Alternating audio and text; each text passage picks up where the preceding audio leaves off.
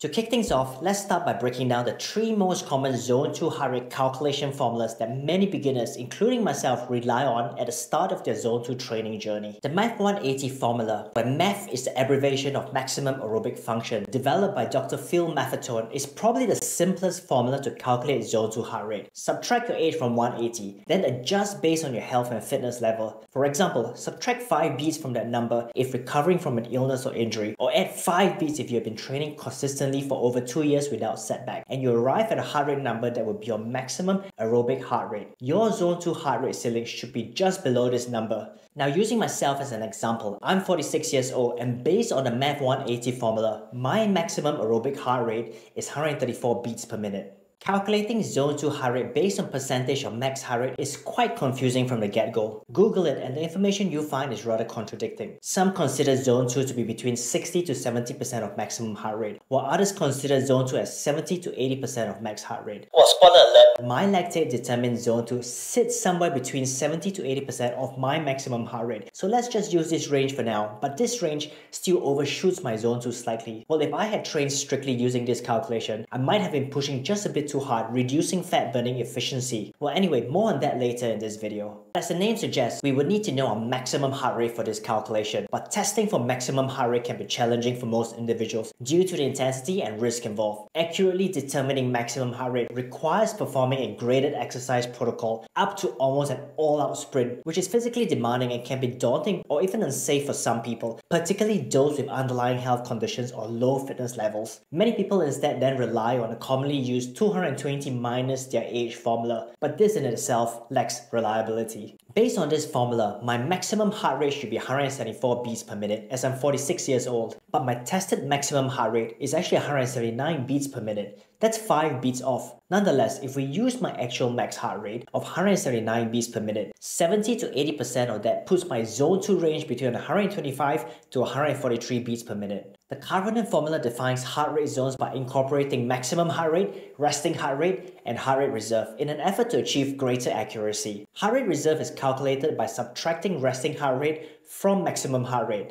The Karvonen formula also uses an intensity range of between 60% to 70% for zone 2. This percentage is then applied to our heart rate reserve and our resting heart rate is added to this number. For example, my maximum heart rate is 179 beats per minute and my resting heart rate is 55 beats per minute. 179 minus 55 gives me a heart rate reserve of 124 beats per minute. To calculate my zone 2 with the Karvonen formula, I would multiply my heart rate reserve of 124 beats per minute by 60% and again by 70% then add my resting heart rate to both numbers to get my zone 2 range. That will give me a range between 129 beats per minute and 142 beats per minute using this formula. This table here shows my zone 2 heart rate range based on these three formulas. For the MAF 180 formula, my zone 2 heart rate ceiling or my maximum aerobic heart rate is 134 beats per minute. When using 70 to 80% of my maximum heart rate, my zone 2 range is between 125 to 143 beats per minute. And finally, the Karvonen formula puts my zone 2 range between 129 beats per minute and 142 beats per minute. Before we find out how that compares with my blood lactate levels during the test, let's first define zone 2 and talk about what the gold standards of zone 2 testing are. The best definition I found defines zone 2 as an exercise intensity that stimulates the most mitochondrial function, the most fat oxidation, and the most lactate clearance. And it mainly recruits type 1 muscle fibers, also known as slow twitch fibers. It is also the maximum level of effort that one can maintain with without accumulating lactate. Lactate is still produced, but at this effort level, the clearance rate of lactate is matched with the production rate, resulting in no buildup of lactate. The maximum blood lactate concentration before lactate starts to build up is about 2 millimolars per liter, with the zone 2 sweet spot sitting somewhere between 1.7 to 2 millimolars per liter. Since zone 2 is a definition of mitochondrial function,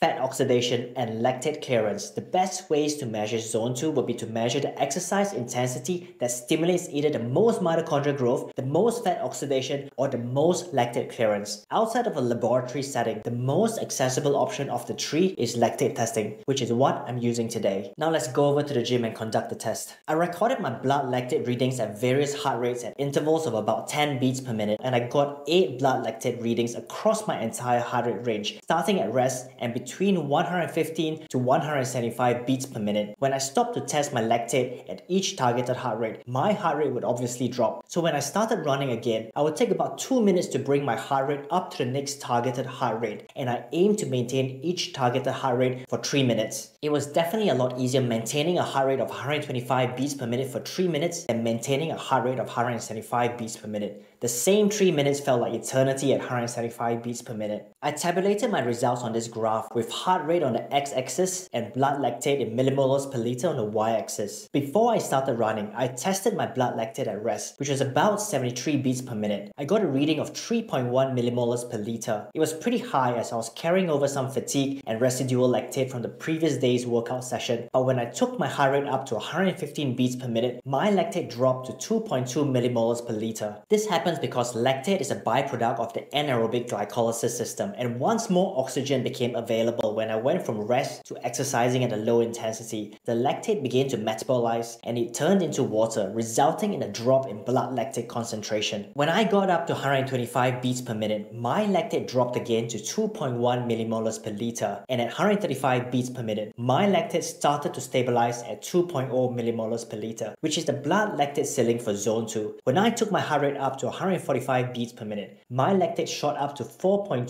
millimolars per liter, but very interestingly, it dropped again pretty drastically back down to 2.7 millimolars per liter at 155 beats per minute. Based on my understanding, the drop in lactate at that intensity is typically due to the increased cardiac output and oxygen delivery to working muscles, which enhances lactate metabolism as well as the reuse of lactate as an energy substrate by certain tissues such as the heart, kidneys, and slow twitch muscle fibers. But if you have a better explanation for this drop in lactate as I cross over into zone 3 and 4, I would absolutely love to hear it if you could share it by writing in the comment section below. Now let's compare those formulas with my blood lactate levels during the test. From doing the lactate test, my blood lactate concentration of 2 millimolars per liter corresponds to about 135 beats per minute. That is probably where my zone 2 heart rate ceiling sits. Comparing that to the 134 beats per minute derived from the MAF 180 formula, I have to say that it's pretty spot on. When calculating using 70 to 80% of maximum heart rate. My zone 2 range is 125 to 143 beats per minute. 135 beats per minute sits right in the middle of this range, which is at 75% of maximum heart rate. At 135 beats per minute, my lactate was already at 2.0 millimolars per liter, meaning that I should not go above this if I want to train in zone 2. So a range of up to 80% of maximum heart rate is too high for me. A better range for me would be 70 to 75% of maximum heart rate. And finally, the Karvonen formula puts my zone 2 range between